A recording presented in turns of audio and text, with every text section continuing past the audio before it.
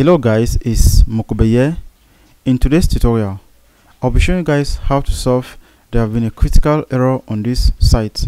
Let's get into the video.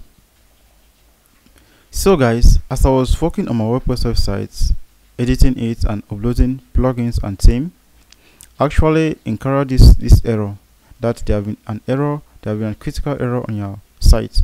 So guys, if you get this issue the first thing you need to do is that you simply need to go to your cPanel so once you get to your cPanel we're going to go to file manager. So we'll simply be changing the plugin file name first to see if the error is actually from plugins. So we change it. Let me just say two this and we create a new one. So after creating it come back here and you refresh your browser. After that you are going to see that all the plugins are going to be what? Deactivated. We'll come back here and refresh it to see if the problem is actually from plugins. So the problem was from one of the plugins. So what you simply need to do is that you simply go back here and select this the, the the plugin file you created. That's a new one. And the old one you rename it back so that's it. After that you come back on your WordPress website dashboard plugin. You refresh it. So you simply need to test it one after the other. So I will test this to see if this plugin that is actually causing the error. Oh the website is okay. So I'll test this. Test this. Test. Okay. Activate I'll refresh it again to see. Okay after that I'll test this one to see if is it.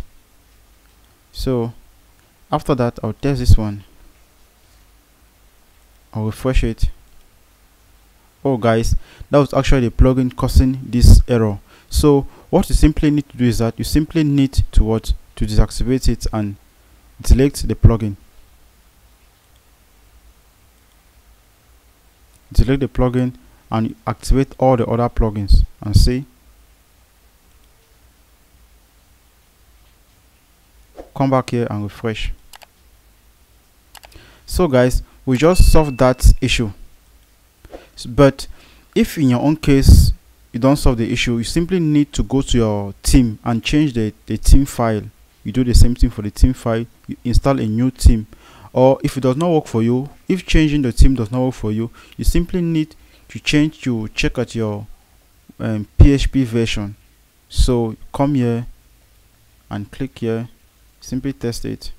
Come. Is it your php version. You simply check at the current version. That's it.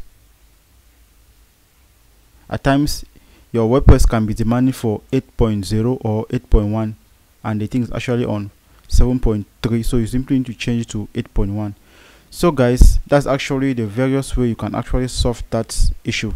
Thank you guys for watching. Don't forget to leave your comments in the comment section below. If you face any difficulty doing this we love you all. See you in the next video. Peace out